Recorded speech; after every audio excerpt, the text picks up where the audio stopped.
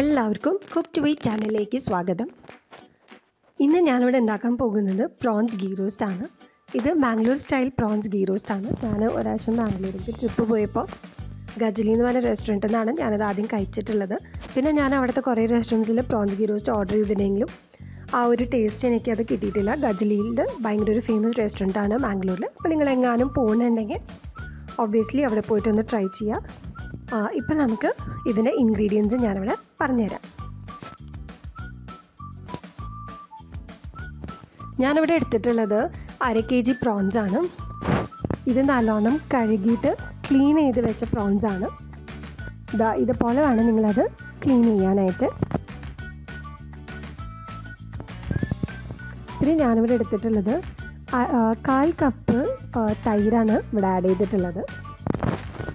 പിന്നെ ഞാനിവിടെ ആഡ് ചെയ്യുന്നത് ഒരു ടീസ്പൂൺ ടേമറിക് പൗഡറാണ് മഞ്ഞൾ ഒരു ടീസ്പൂൺ മുളകും പൊടി ആവശ്യത്തിന് ഉപ്പ് ചേർക്കാം. പിന്നെ ഞാനിവിടെ ആഡ് ചെയ്യുന്നത് അര ലെമന്റെ ജ്യൂസാണ് ഫുൾ ലെമൺ ഒഴിക്കേണ്ട ആവശ്യമില്ല. അപ്പോൾ കുറേ പുളിയാവും നമ്മൾ പിന്നീട് പുളി ചേർക്കുന്നുണ്ട്. അതുകൊണ്ട് അര ലെമൺ ഒരു ലെമന്റെ പകുതിയിൽ പകുതി ലെമന്റെ ജ്യൂസാണ് ഞാനിവിടെ ആഡ് ചെയ്തിട്ടുള്ളത്. പിന്നെ ഇത് നല്ലപോലെ ഇതൊന്ന് മിക്സ് ചെയ്യാം. മിക്സ് ചെയ്തിട്ട് വൺ ആറെങ്കിലും നിങ്ങളത് മാരിനേറ്റ് ചെയ്യണം. വൺ അവർ മാരിനേറ്റ് ചെയ്താലേ ആ പ്രോൺസിന്റെ മസാല ഒക്കെ അത് ആ മസാല ഒക്കെ പ്രോൺസിൽ ഇറങ്ങി പിടിക്കുള്ളൂ. പിന്നെ നമുക്ക് ഒരു പാൻ എടുക്കാം. അതിലോട്ട് മസാല റെഡിയാക്കാനായിട്ട് നാല് കാശ്മീരി ചില്ലി മൂന്ന് ബ്യാഡഗി ചില്ലീസാണ് ആഡ് ചെയ്തിട്ടുള്ളത്. ഈ ചില്ലി ഇല്ലെങ്കിൽ കുഴപ്പമില്ല. നിങ്ങൾക്ക് മുഴുവൻ മൂന്നെണ്ണം ആഡ് ചെയ്യാം. പിന്നെ ഞാനിവിടെ ആഡ് ചെയ്തിട്ടുള്ളത് ഒരു ടീസ്പൂൺ കൊറിയാണ്ടർ സീഡ്സ് ഒരു ടീസ്പൂൺ ജീരകം ഒരു ടീസ്പൂൺ പെപ്പർ പൗഡറാണ് എന്റെ കയ്യിൽ പെപ്പർ കോൺസ് ഇല്ലാത്തതുകൊണ്ടാണ് മുഴുവൻ മുളക് കുരുമുളക് ഇല്ലാത്തതുകൊണ്ടാണ് ഒരു ടീസ്പൂൺ പെപ്പർ ആഡ് ചെയ്തിട്ടുള്ളത് പെപ്പർ പൗഡർ പിന്നെ ഞാനിവിടെ ആഡ് ചെയ്തിട്ടുണ്ടായിരുന്നത് കാൽ ടീസ്പൂൺ ഫെനുഗ്രീക്കാണ് ഉലുവ. പിന്നെ ഇതൊന്ന് നല്ലോണം ഫ്രൈ ചെയ്യണം. ഫ്രൈ ചെയ്ത് കഴിഞ്ഞിട്ട് നല്ലൊരു സ്മെല്ല് വരുന്ന വരെയാണ് നമ്മളിത് ഫ്രൈ ചെയ്യേണ്ടത്.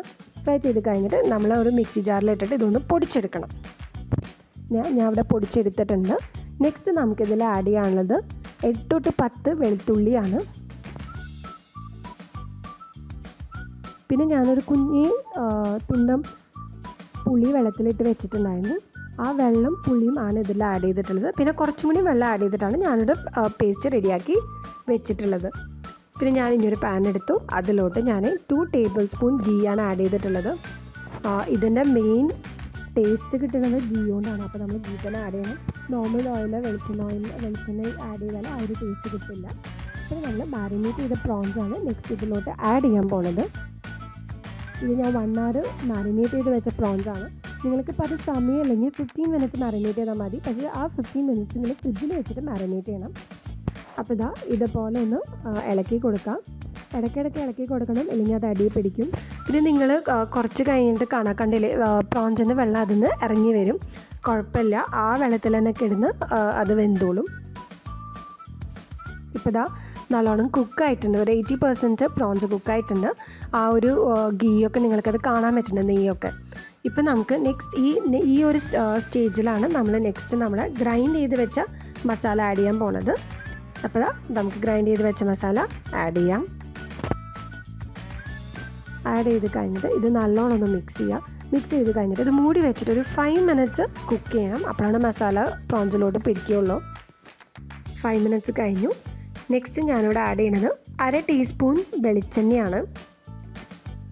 വെളിച്ചെണ്ണ ഒഴിച്ച് കഴിഞ്ഞിട്ട് ഞാൻ ആഡ് ചെയ്യണത് കരിവേപ്പിന്റെ ഇലയാണ്. അത് കുറച്ച് നമ്മുടെ ഇഷ്ടത്തിനനുസരിച്ച് ആഡ് ചെയ്യാം. ഇത് ആഡ് ചെയ്ത് കഴിഞ്ഞിട്ട് നല്ലോണം ഒന്ന് മിക്സ് ചെയ്യാം. വളരെ പെട്ടെന്ന് ഉണ്ടാക്കാൻ പറ്റുന്ന ഒരു റെസിപ്പിയാണ് അത് മാത്രമല്ല നല്ലൊരു ടേസ്റ്റാണ് ഡിഫറെന്റ് ആയിട്ടുണ്ട് ബാക്കിയുള്ള പ്രോൺസ് റെസിപ്പീസിനേക്കാട്ടിലും അപ്പോൾ നിങ്ങൾക്ക് ഇഷ്ടപ്പെട്ടിട്ടുണ്ടെങ്കിൽ ലൈക്ക് ചെയ്യാനും സബ്സ്ക്രൈബ് ചെയ്യാനും മറക്കില്ല. Thanks for watching this video do share your comment below thank you